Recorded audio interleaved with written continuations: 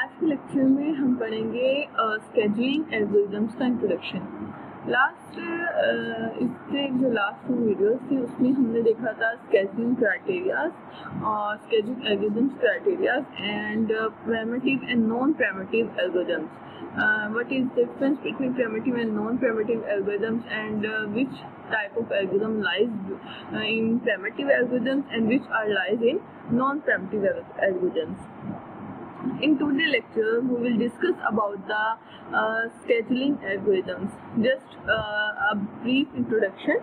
Uh, not, uh, we will not do any practical implementation in this lecture. Okay, let's start. start. Okay. First uh, thing is the scheduling criteria. Uh, I will told you that we will discuss we discussed the scheduling criteria in the last lecture in detail.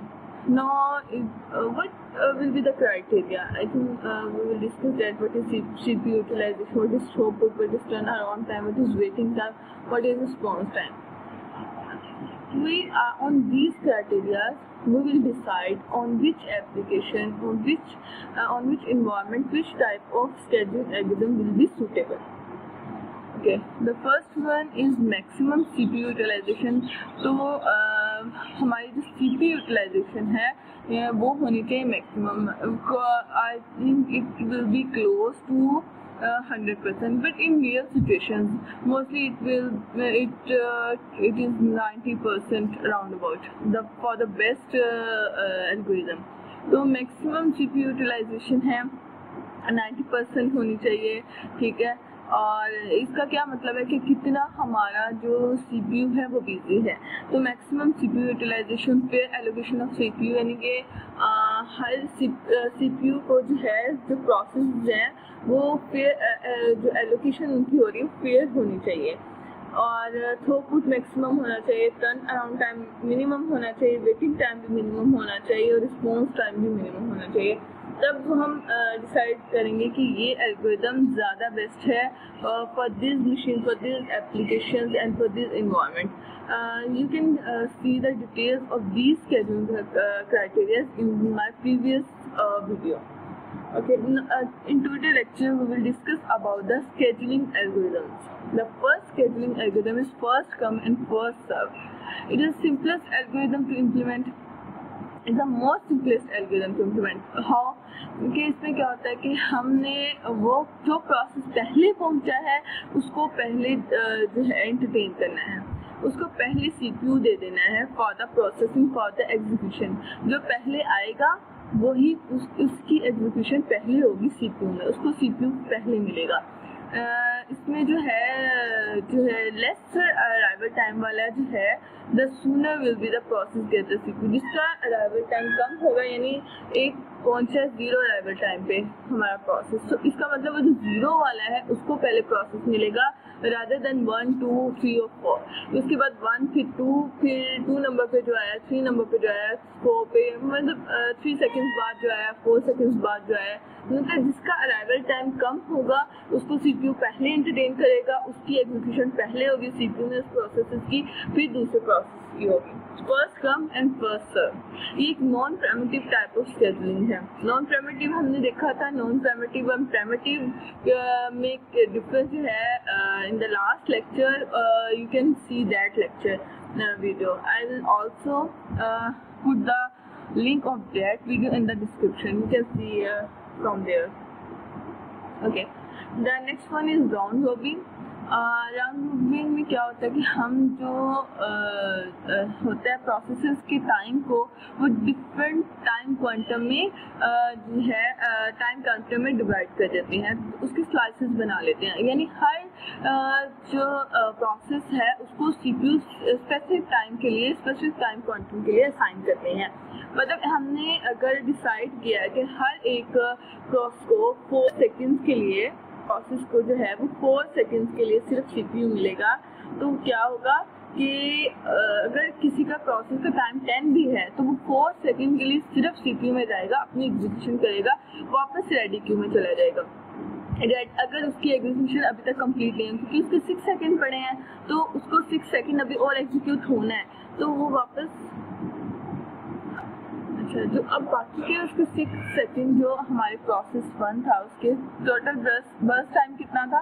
उसका total burst time था ten ठीक है? इसमें से क्योंकि अब time quantum four second decide हुआ है तो इसने सिर्फ़ फोर सेकंड के लिए सीपीयू ने इसको एग्जीक्यूट करना और वापस इसको रेडी क्यू में भेज देना। रनिंग में था रेडी क्यू में वापस जाएगा और उसके बाद दूसरा प्रोसेस लेगा। उसको चार सेकंड के लिए आ, हर एक प्रोसेस को चार चार सेकंड करने के बाद वो दोबारा से साइकिल को चलाएगा।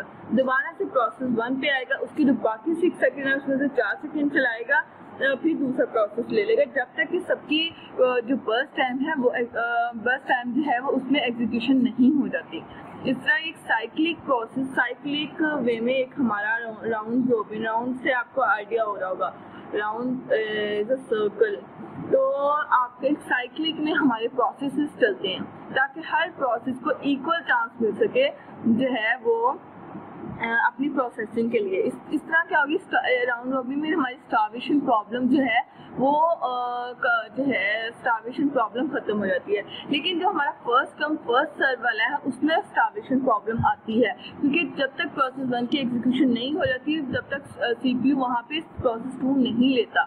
इससे क्या होता है कि जो है, पीछे वाले अगर प्रोसेस वन का बस टाइम ज़्यादा है फॉर एग्ज़ाम्पल टेन या ट्वेंटी है, इसका मतलब बाकी प्रोसेस को इतनी देर तक वेट करना पड़ेगा। वहाँ पे स्टार्वेशन प्रॉब्लम है। राउंड लेवल में ये स्टार्वेशन वाली प्रॉब्लम जो है, वो खत्म हुई है। इसमें प्रेमिटिव टाइप ऑफ़ स्केड्यूलिंग है। इसलिए इसमें क्या होता है? CPU without completing the burst time दूसरे प्रोसेस को अलाउ कर देता है कि वो आके अपने एग्जीक्यूशन कर ले और प्रोसेस वन को वापस भेज देता है। ये था हमारा राउंड रोबिंग और जो हमारा फ़र्स्ट कम फ़र्स्ट सब फ़र्स्ट सर्व था वो नॉन प्रेमेटिव था उसमें जब तक रिव्यू ने एक प्रोसेस को फ़र्स्ट टाइम कंप्लीट नहीं कर लेना वो दूसरे प्रोसेस को नहीं लेगा। इसलिए वहाँ पे स्टार्वेशन प्रॉब्लम है यहाँ पे स्टार्वेशन प्रॉब्लम नहीं आती। अच्छा नेक्स्ट क्या है? आ, हमारे पास नेक्स्ट हमारे पास शॉर्टेस्ट जॉब फ़र्स्ट अब यहाँ पे भी स्टार्वेशन वाली प्रॉब्लम नॉन प्रेमेटिव टाइप है क्योंकि जिसका जो, इसमें non preemptive type of scheduling है कि जब तक एक प्रोसेस का बर्थ टाइम कंप्लीट नहीं होता, वो दूसरा प्रोसेस नहीं लेगा। लेकिन इसमें एक चीज़ है कि शॉर्टेज ड्रॉपर्स यानी जिसका बर्थ टाइम कम होगा, या first first come first service जो पहले आया, बेशक उसका बर्थ टाइम ज़्यादा उसे उसको प्रोसेस कर लेना है। लेकिन यहाँ पे क्या होगा, जो जिसका बर्थ टाइम कम होगा सीपीयू उसको एग्जीक्यूट करेगा फ़र्स्ट ठीक है? ये non preemptive type of scheduling है। सबसे शॉर्टेस्ट बर्थ टाइम वाला प्रोसेस पहले एग्जीक्यूट होगा। तो इसमें भी स्टार्वेशन प्रॉब्लम क्योंकि प्रोसेस को, बाकी प्रोसेस को कम टाइम के लिए इतनी ज़्यादा स्टार्वेशन प्रॉब्लम से ज़्यादा नहीं है। क्योंकि छोटे जिसकी बस टाइम उससे पहले एग्जीक्यूट होकर चले जाना है वहाँ से। दूसरे प्रोसेस को जल्दी चांस मिल जाएगा for the execution in the C तो ये भी non preemptive type of scheduling है, क्योंकि प्रोसेस जब तक कि प्रोसेस का बस टाइम कंप्लीट नहीं हो जाता दूसरा प्रोसेस नहीं आएगा। अच्छा shortest remaining time first preemptive form of shortest job जो है फ़र्स्ट uh, है हमारी ये वाली प्रेमेटिव शॉर्टेस्ट जॉब फ़र्स्ट है। इन इस एल्गोरिथम में क्या होता है ओएस जो है वो स्केड्यूल करता है जॉब को उसकी रिमेनिंग टाइम ऑफ़ एग्जीक्यूशन की बेस पे। कैसे? अच्छा अब क्या होता है कि हर प्रोसेस जो है वो एक ही टाइम पे नहीं पहुँच सकता। अब हर एक का uh, पहुँचने का अराइवल टाइम डिफरेंट होगा। तो उन, उस केस में, क्योंकि प्रोसेस में जब हम शॉर्टेज जॉब फ़र्स्ट करें फिर जो प्रोसेस के उस वक्त वहाँ पे रेडी क्यों में होगा, वो उनको देखेगा, उसमें से जो शॉर्टेज जॉब जिसकी बस टाइम कम है, वो उसको लेके एग्जीक्यूट करेगा। हो सकता है उसके बाद कोई ऐसा प्रोसेस आया हो, जिसका एग्जीक्यूशन उससे भी कम हो। तो वो क्या करेगा? अब उसमें क्या होगा? हमारा प्रेमिटिव वर्जन यूज़ होगा शॉर्टेस्ट ऑफर्स का। वो अराइवल टाइम की बेस पे क्या करेगा? एल्गोरिथम्स को स्केड्यूल करेगा। अब एक प्रोसेस ज़ीरो पे आया है, ठीक है?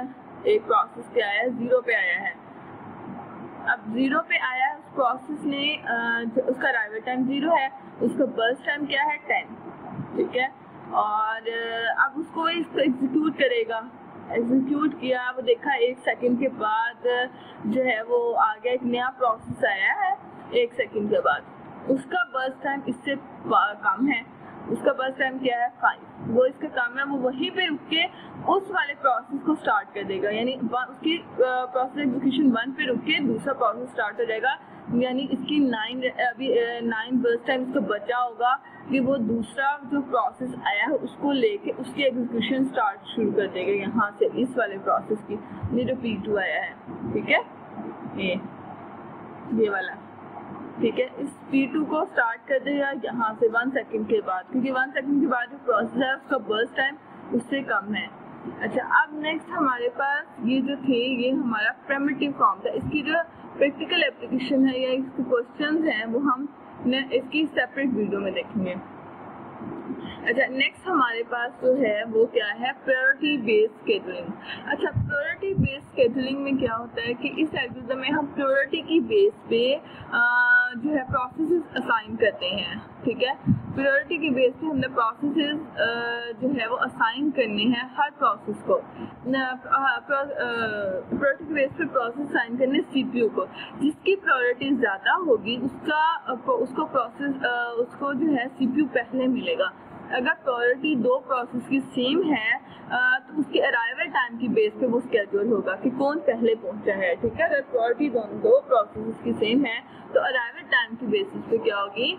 हमारी प्रोसेसिंग होगी उन प्रोसेस की स्केड्यूलिंग होगी। कौन सा प्रोसेस पहले जो है वो स्केड्यूल होगा?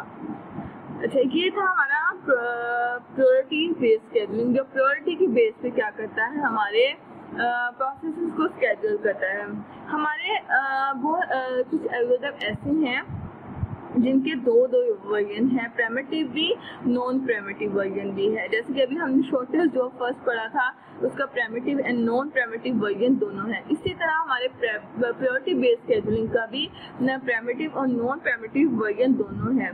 ठीक है? क्योंकि समटाइम्स ऐसे वही सिचुएशन कि अगर हो सकता है कोई नया प्रोसेस आया हो, जो नया प्रोसेस आया है, उस, जो और जो एग्जीक्यूट हो रहा है सीपीयू में, उसकी प्रायोरिटी नए प्रोसेस की प्रायोरिटी उससे हाई हो तो वो क्या करेगा? उसकी प्रोसेसिंग छोड़ के जो नया प्रोसेस आया उसकी एग्जीक्यूशन स्टार्ट कर देगा।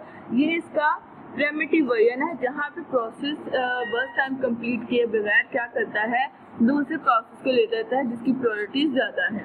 तो ये था प्योरिटी बेस्ड शेड्यूलिंग छोटे जो फ़र्स्ट के भी हमारे दो वेरिएंट है प्रेमेटिव एंड नॉन प्रेमेटिव और प्योरिटी बेस्ड शेड्यूलिंग के भी दो वेरिएंट्स है प्रेमेटिव एंड नॉन प्रेमेटिव इनकी डिटेल्स जो है इनकी सेपरेट वीडियो लेक्चर्स में हम इंशाल्लाह देखेंगे. आज के लिए इतना ही.